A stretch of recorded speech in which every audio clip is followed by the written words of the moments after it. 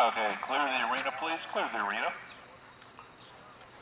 We're going to start with the next class. The next class will be class 27, lead line six years and under. We have three in this class.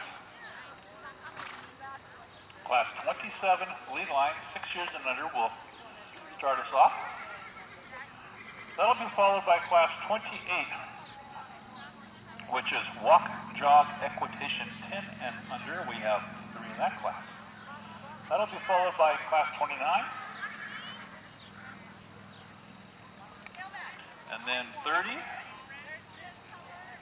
And then 31. So we're going to go through some more classes now. And we're going to start with 27. Lead line, equitation, six years and under.